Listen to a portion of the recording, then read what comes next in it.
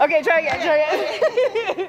Now, Carol unfortunately had that dress which hid every single mistake. I actually wanted to wear a dress to hide my feet because it's tricky. Ah. Then Oh, touch. what can I say? you're my almost there, you're foot is there. still recovering start from my the accident. Too bad I couldn't go. Yeah, I'm sure you're really disappointed.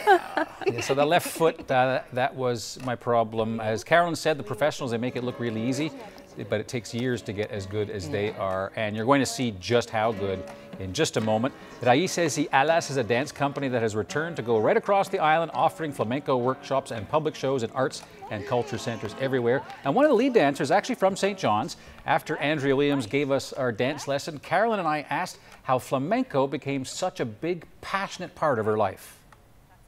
My name is Andrea Williams, and I'm originally from St. John's. And I first discovered flamenco in southern France. I came across a pilgrimage of what we would call gitanos in a small town called Sainte Marie de la Mer, and I just fell in love with the music. I came back to St. John's, and at the ship, there was this lovely group called El Viento Flamenco that were performing, and I said, This is great. Here's two worlds colliding. Next thing you know, I'm in Vancouver and I'm in a flamenco dance company there. And now I have the chance to bring that beautiful form of art that we've developed in Vancouver back to St. John's. Asa. I think for me, it started with the music. It's a kind of music that kind of eats you from the inside. It's very hard to sit still when you're listening to flamenco music. There's a raw energy to it. The music comes from the suffering of a people, the struggle of a people, and the oppression that they experienced.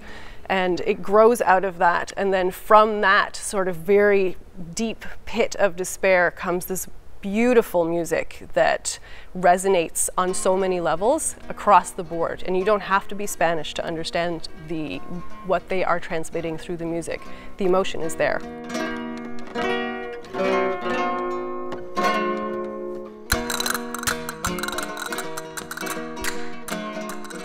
People often say that uh, flamenco dancers are some of the most sexy dancers, but really what we're doing is we're using our entire bodies to dance. So we take the music and we express it physically. So you'll see some dancers who have a very, very serious uh, nature to their dance. You'll often see a change in expression in their face because they are embodying on all levels the form of dance. And then other forms in flamenco, you will see the, the sort of cheekier side. And that's when the sort of the adjective sexy comes out because we move our hips, we use our hands very frequently. Uh, there's uh, often kind of gestures that uh, with the eyes as well. So we're using everything.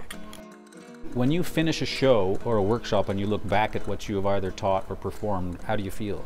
exhilarated. Teaching is such a rewarding thing, and teaching flamenco especially, because you can see somebody who may have had no dance experience whatsoever pick up just a tiny bit, and the change in their face and the change in their confidence level just it drives you home. It's great.